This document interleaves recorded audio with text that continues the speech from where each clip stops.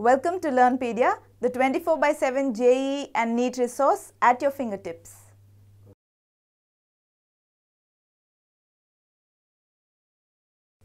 Let's see if you can answer this actual JEE question.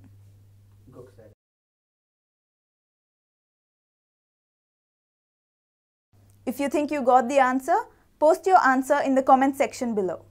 To know the best way to answer this question, watch this video further.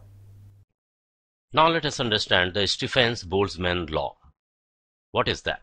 Stefan's-Boltzmann law. So according to Stefan's-Boltzmann law, the amount of energy, the thermal radiation emitted per unit time by a black body of surface area A is given by U equal to sigma A T raised to the power 4, where T is the temperature of the black body. So here this is written for black body. Alright, this is written for black body means if there is a black body having surface area A and temperature absolute temperature capital T then the energy of thermal radiation emitted per unit time U is the energy of thermal radiation emitted per unit time is given by this relation where sigma sigma is a universal constant known as Stefan's Boltzmann constant. All right sigma is a universal kind of a constant means its value is going to remain the same everywhere. It is a universal kind of a constant. And the value of sigma is found to be 5.67 into 10 raised to the power minus 8 watt per meter square kelvin power 4 the unit is something that you can see from here because this u U is amount of energy radiated per unit time. U is amount of energy radiated per unit time by the black body. Okay. And on the other hand, for any other ordinary object, this energy U can be written as small e sigma a t raised to the power 4 where small e letter here I've already told you it is emissivity. Small e is emissivity. Alright and we have already proved that numerical value of emissivity is same as that of the absorptivity. It is just a matter of context emissivity is used in the context of emitting the energy, radiating the energy, and absorptivity is in the context of absorbing the energy. But we have already seen that the nature is designed in such a manner that absorption and radiation, both the properties go hand in hand, and here it is quite evident that emissivity is same as absorptivity. The better you can absorb, the better you can radiate. So that is the rule. Means good absorbers are good radiators of energy. So here you can see that in case of ordinary object, suppose we have some ordinary object at temperature T in a surrounding temperature T naught.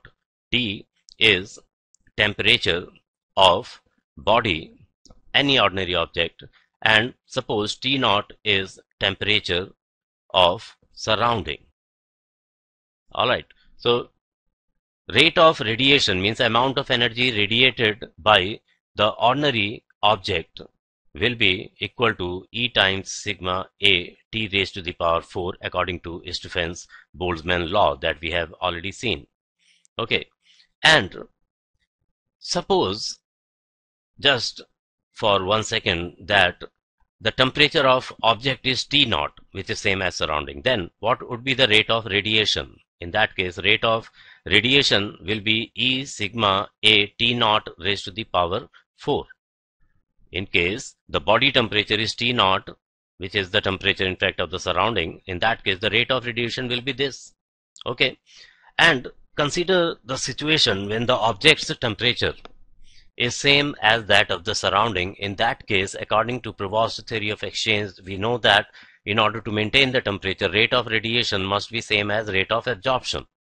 So, if the body temperature is T naught, then rate of radiation is this. Alright, if surrounding temperature is also the same, then rate of absorption, let it denote with U naught. Rate of absorption will also be the same because in a steady state, in order to maintain the temperature, rate of radiation is same as rate of absorption. But if you visualize that, if suppose the object temperature is different, then what will change? Rate of radiation will change, but the rate of absorption is not going to change. So here you can understand that if you use the temperature of the surrounding in Stefan's-Boltzmann law instead of the temperature of the body, then the same expression can be used for rate of absorption of energy. Alright, the same expression can be used for rate of absorption of energy all the time. So let's suppose T is greater than T naught. So net rate of heat loss in this situation is going to be U minus U naught means U is the rate of absorption and it is the rate of radiation. So U minus U naught is the net rate of heat loss. So delta U is going to be U minus U naught means E sigma A can be taken out as common. So T raised power 4 minus T naught raised to the power 4. So this is the equation for amount of energy, net rate of loss of energy by the body whose temperature is T and it is kept in a surrounding of temperature T naught. So this is the Stefan's-Boltzmann law means the rate of radiation is proportional to the fourth power of the absolute temperature. Hey there, hope you understood the concept. Here's the solution to the question asked at the beginning.